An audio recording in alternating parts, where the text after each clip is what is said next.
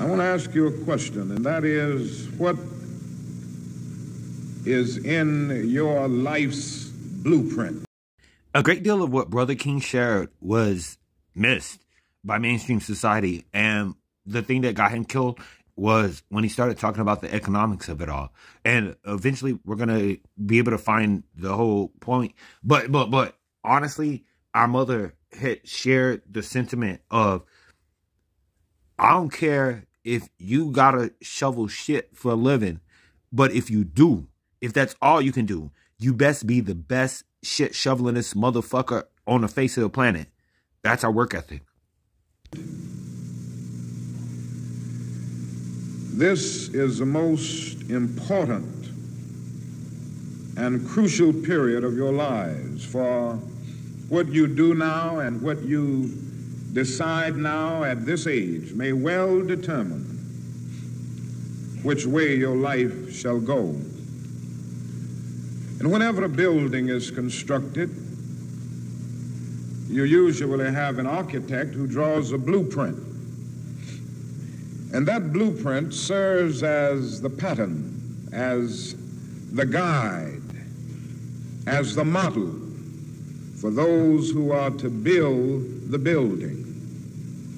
And a building is not well erected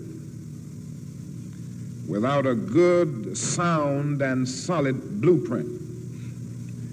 Now, each of you is in the process of building the structure of your lives. And the question is whether you have a proper, a solid, and a sound blueprint. And I want to suggest some of the things that should be in your life's blueprint. Number one in your life's blueprint should be a deep belief in your own dignity, your own worth, and your own somebodyness. Don't allow anybody to make you feel that you are nobody. Always feel that you count. Always feel that you have worth. And always feel that your life has ultimate significance. Now, that means that you should not be ashamed of your color. You know, it's very unfortunate that in so many instances, our society has placed a stigma on the Negro's color. And you know there are some Negroes who are ashamed of themselves. But don't be ashamed of your color. Don't be ashamed of your biological features. Somehow you must be able to say in your own lives and really believe it, I am black but beautiful. And believe it in your heart.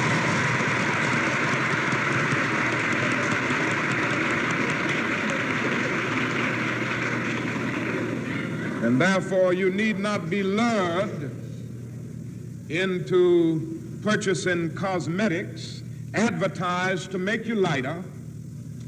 Neither do you need to process your hair to make it appear straight. I have good hair, and it is as good as anybody else's hair in the world. And we've got to believe that.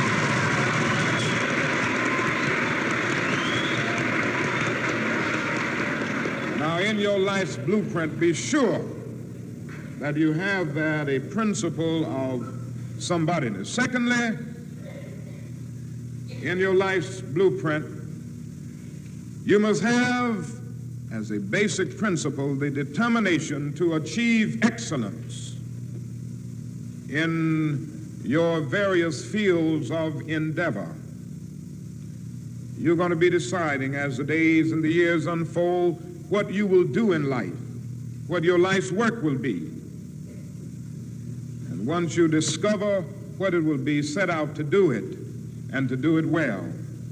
And I say to you, my young friends, that doors are opening to each of you. Doors of opportunity are opening to each of you that were not open to your mothers and to your fathers. And the great challenge facing you is to be ready to enter these doors as they open.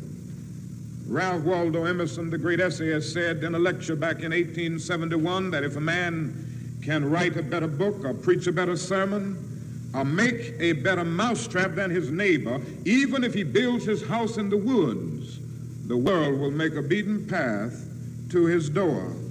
That hasn't always been true, but it will become increasingly true. And so I would urge you to study hard, to burn the midnight oil. I would say to you, don't drop out of school, and I understand all of the sociological reasons why we often drop out of school. But I urge you, in spite of your economic plight, in spite of the situation that you are forced to live so often with intolerable conditions, stay in school. And when you discover what you're going to be in life, set out to do it as if God Almighty called you at this particular moment in history to do it. And just don't set out to do a good Negro job, but do a good job that anybody could do. Don't set out to be just a good Negro doctor, a good Negro lawyer, a good Negro school teacher, a good Negro preacher, a good Negro barber, a beautician, uh, a good Negro skilled laborer. For if you set out to do that, you have already flunked your matriculation exam for entrance into the University of Integration. Set out to do a good job and do that job so well that the living, the dead, or the unborn couldn't do it any better.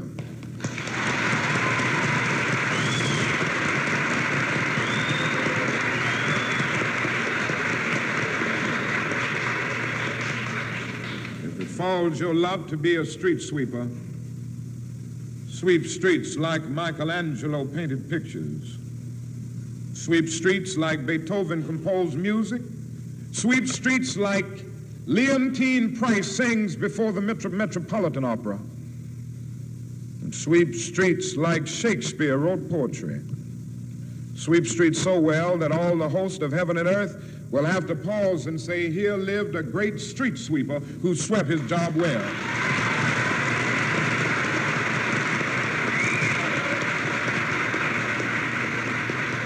If you can't be a pine on the top of the hill, be a scrub in the valley. But be the best little scrub on the side of the rill. Be a bush if you can't be a tree. If you can't be a highway, just be a trail. If you can't be the sun, be a star. For it isn't by size that you win or you fail. Be the best of whatever you are.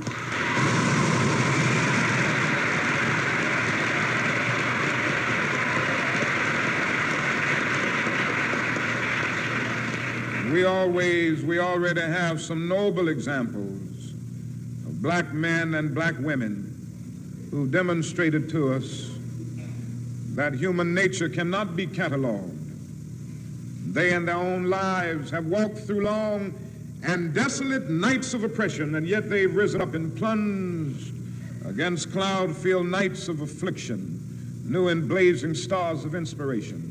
And so, from an old slave cabin of Virginia's hills, Booker T. Washington rose up to be one of America's great leaders. He lit a torch in Alabama, and darkness fled in that setting.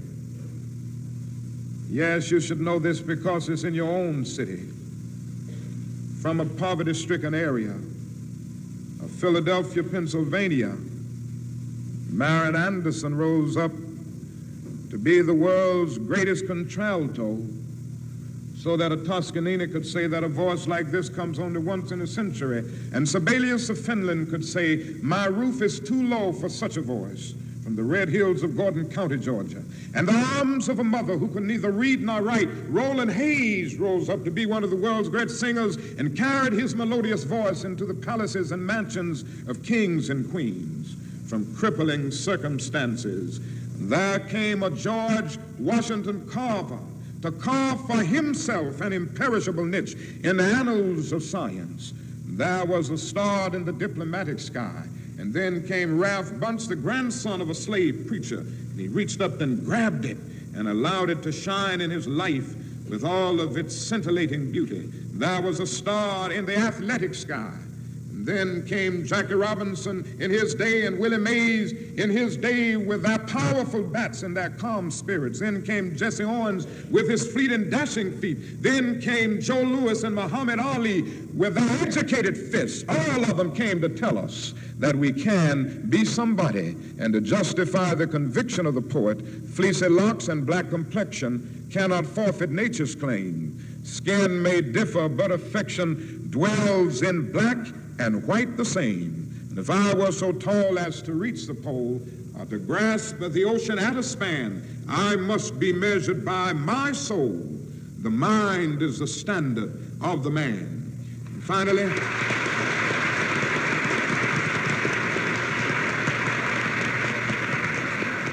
finally, in your life's blueprint, must be a commitment to the eternal principles of beauty, love, and justice. Don't allow anybody to pull you so low as to make you hate them. Don't allow anybody to cause you to lose your self respect to the point that you do not struggle for justice. However young you are, you have a responsibility to seek to make your nation a better nation in which to live. You have a responsibility to seek to make life better for everybody. And so you must be involved in the struggle for freedom and justice. Now, in this struggle for freedom and justice, there are many constructive things that we all can do and that we all must do. And we must not give ourselves to those things which will not solve our problems. You've heard the word nonviolent and you've heard the word violent. I happen to believe in nonviolence. We've struggled with this method with young people and adults alike all over the South, and we have won some significant victories, and we've got to struggle with it all over the North because the problems are as serious in the North as they are in the South. But I believe as we struggle with these problems, we've got to struggle with them with a method that can be militant, but at the same time does not destroy life or property. And so our slogan must not be burn, baby, burn. It must be build, baby, build. Organize, baby, organize.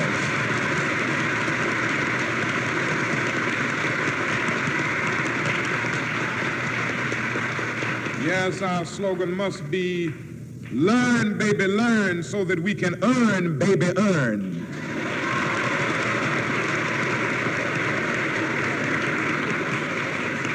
And with a powerful commitment, I believe that we can transform dark yesterdays of injustice into bright tomorrows of justice and humanity. Let us keep going toward the goal of selfhood, toward the realization of the dream of brotherhood, and toward the realization of the dream of understanding goodwill. Let nobody stop us. I close by quoting once more the man that the young lady quoted that magnificent black bard who has now passed on, Langston Hughes. One day he wrote a poem entitled Mother to Son. The mother didn't always have her grammar right, but she uttered words of great symbolic profundity. Well, son, I'll tell you, life for me ain't been no crystal stad. It's had tacks in it. Boards torn up, places with no carpet on the floor, bare. But all the time, I's been a climbing on and reaching landings and turning corners and sometimes going in the dark where there ain't been no light. So, boy, don't you stop now. Don't you sit down on the steps because you find this kind of hard. But I still going, boy. I still climbing. And life for me ain't been no crystal stair. Well, life for none of us has been a crystal stair. But we must keep moving. We must keep going. If you can't fly, run. If you can't run, walk. If you can't walk, crawl, but by all means, keep moving.